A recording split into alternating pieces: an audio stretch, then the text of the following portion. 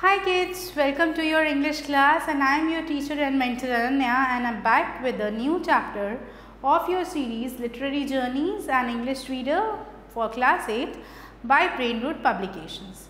Children, today we shall begin with chapter number 15 of your book that is Ram and the Weeping Princess and this story is divided into two parts. Okay, so we are going to first read the part 1 and then we will proceed to part 2.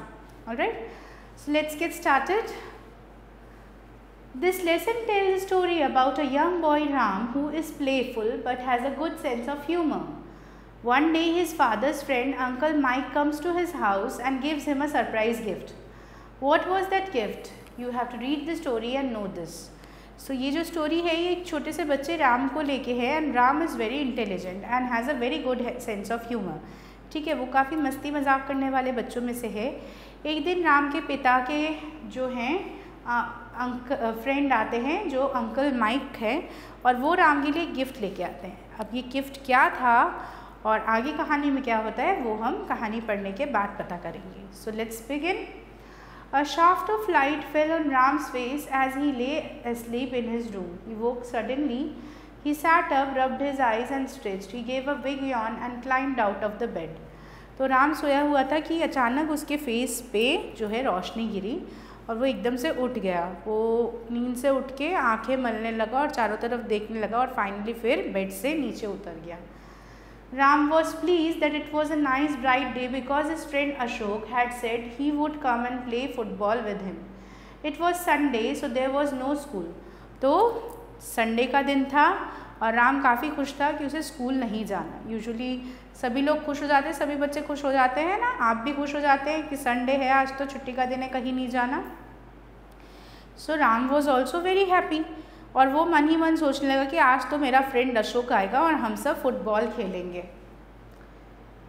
But it had rain the whole week so the boys were looking forward to a game of football he washed and change and then ran down stairs to the kitchen where his mother was cooking dosas Ram love eating dosas and always look forward to breakfast on Sunday अब वो जल्दी से तैयार हुआ और नीचे भागा क्योंकि उसके दोस्त खेलने आने वाले थे। हफ़्ते भर बारिश हो रही थी।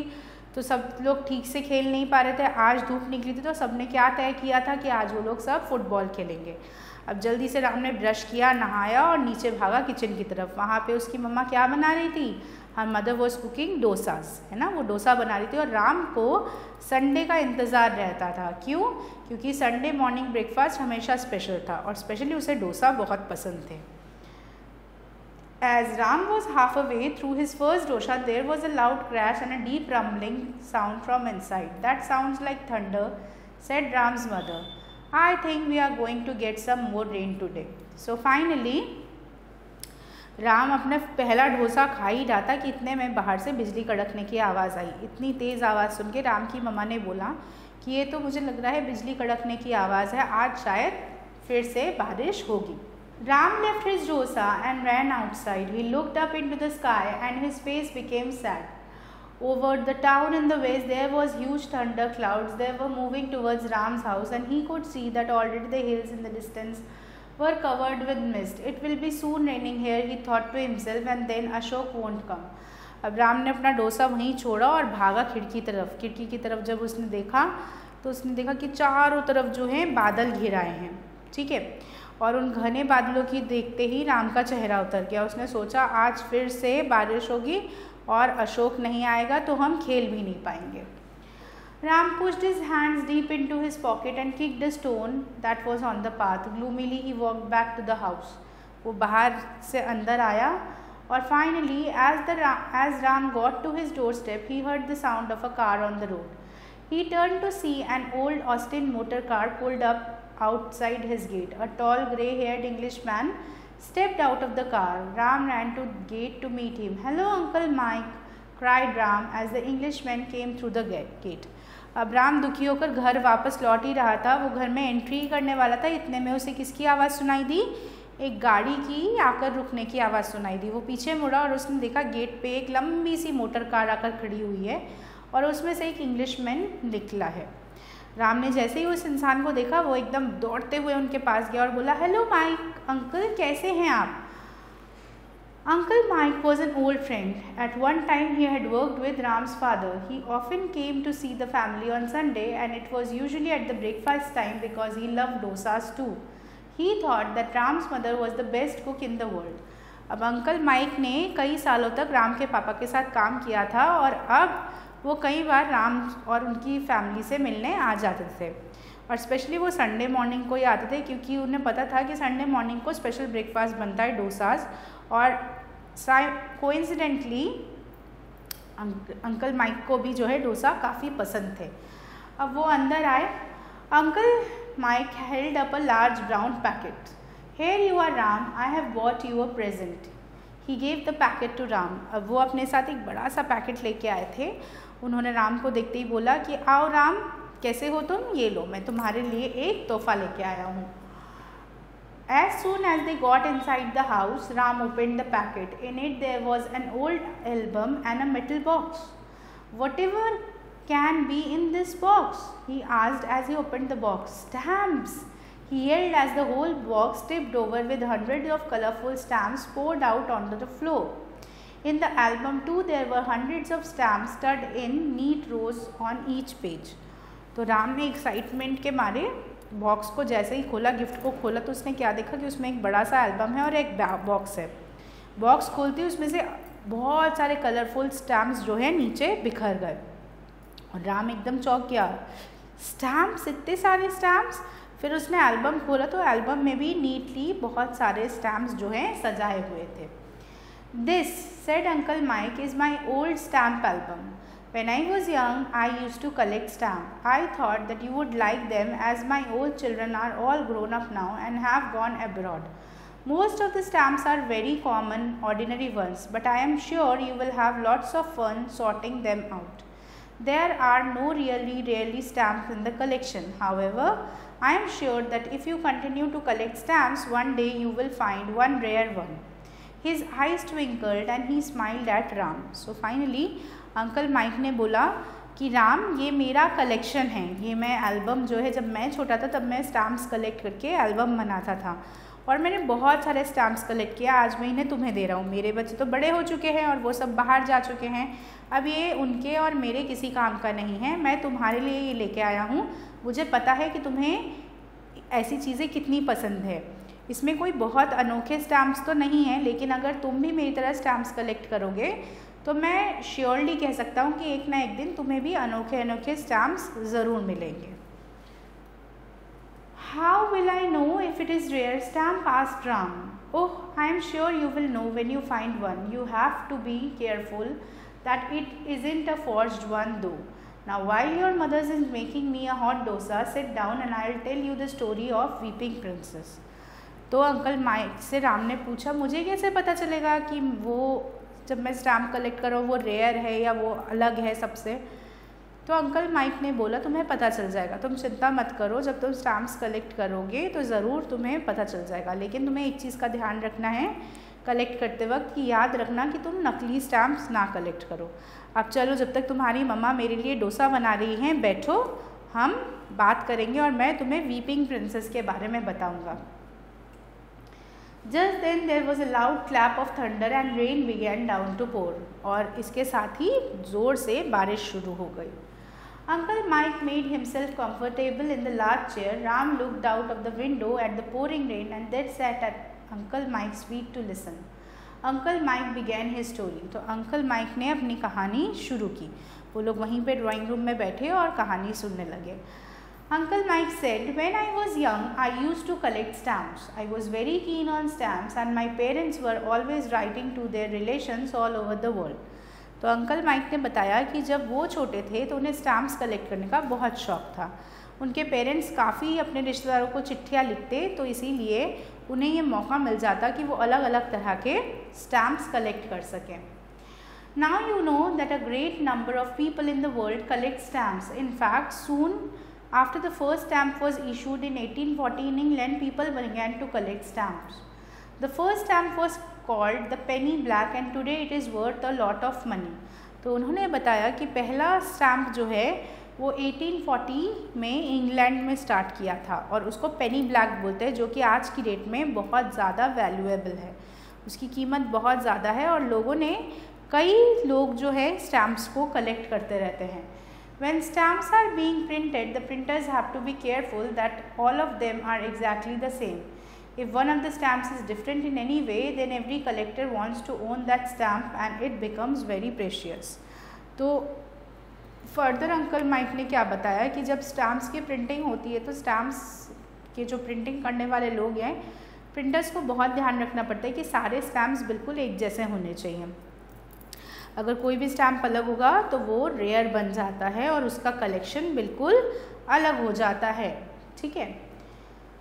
Ram eyes were wide open and he was listening carefully to what uncle Mike was saying Ram's mother came into the room and asked uncle Mike to come into the dining room because the dosa was ready Ram and uncle Mike went to the dining room and uncle Mike continued his story अब जब uncle mic Ram को कहानी सुना रहे थे, इतने में mummy आई और उन्होंने बताया कि आप लोग डाइनिंग रूम में आ जाइए क्योंकि डोसा तैयार है। तो अंकल माइक और राम डाइनिंग रूम में गए और अंकल माइक डाइनिंग टेबल पर बैठ के राम को कहानी आगे बताने लगे।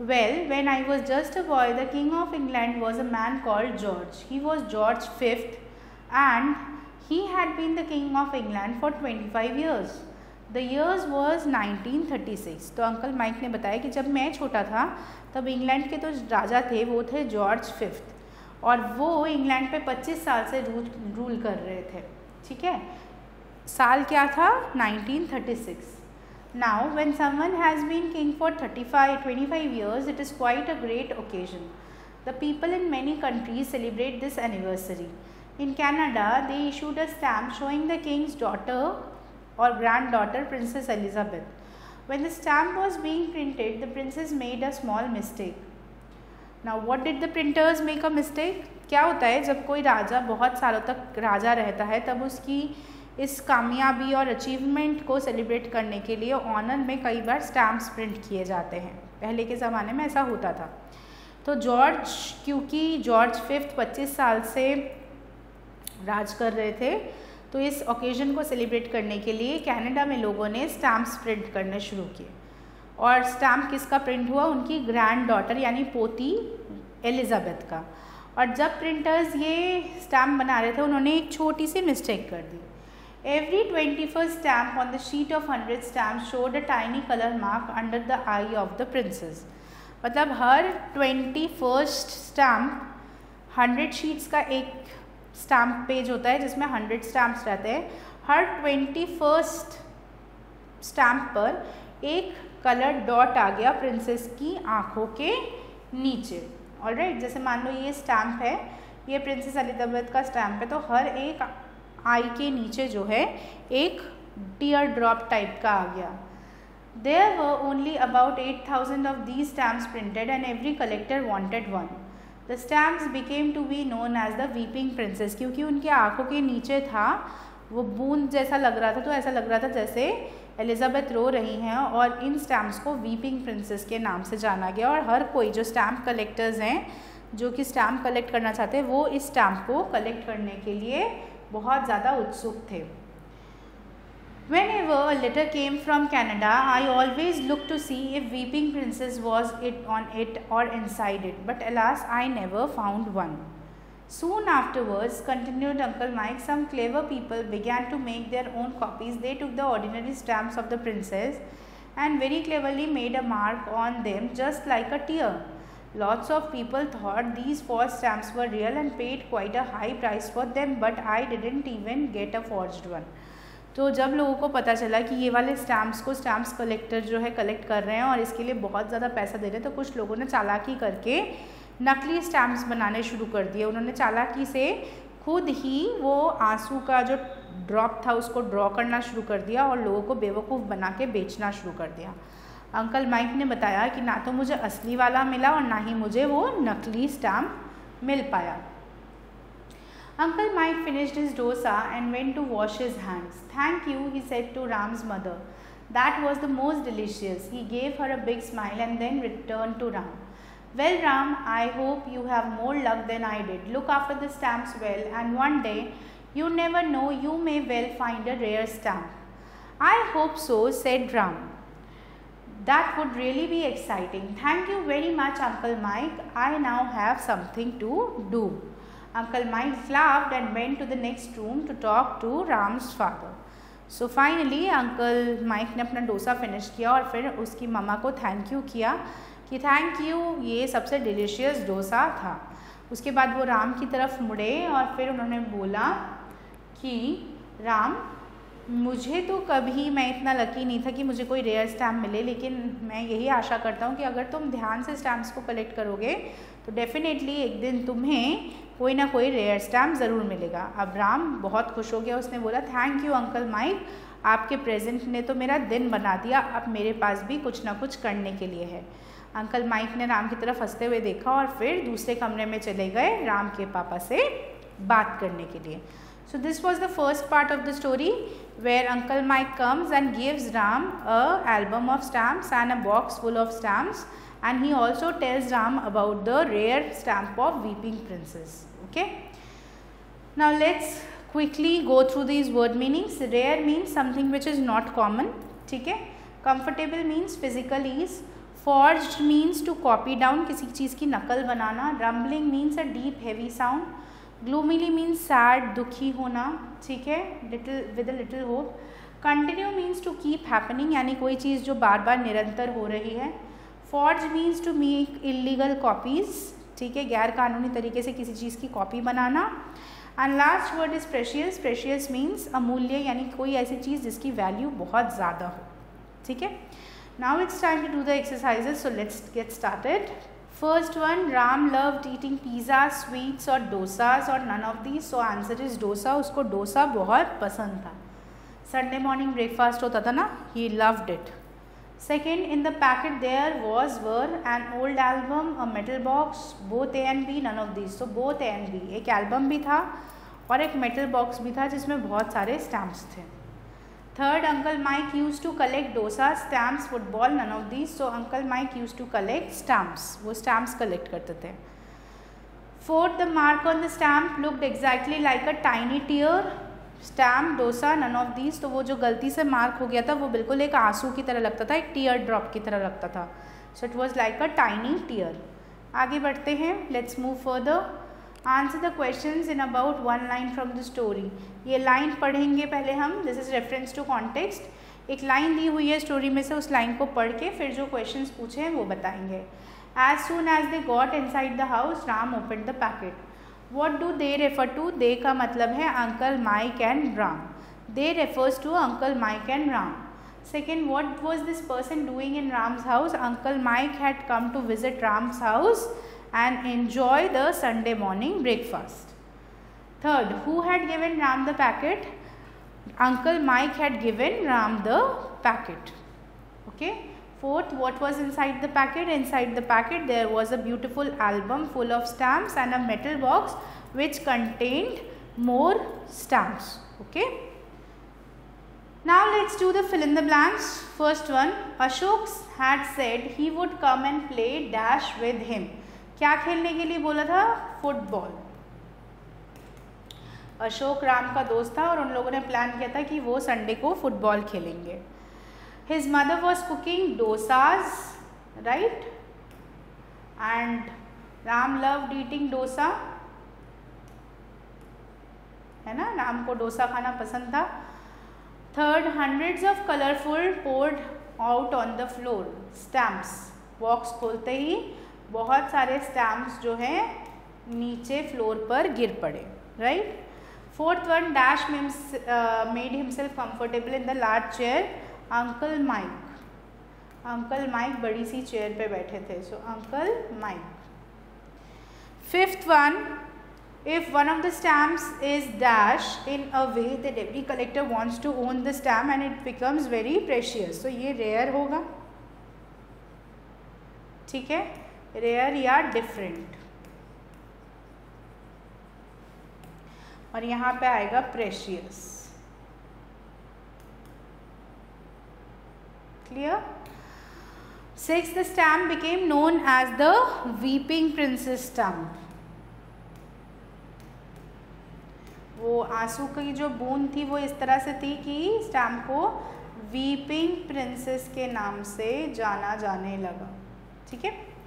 so with this we are done with the exercises I hope that you have noted down all the answers children so we are done with the first part of the story and now we have to do exercise number D use these words in the sentences of your own four words are given you have to make your own sentences so this is something which is to be done by you ये आप खुद करेंगे अपने choice के sentences बनाइए rare rumbling there was a rumbling sound है ना?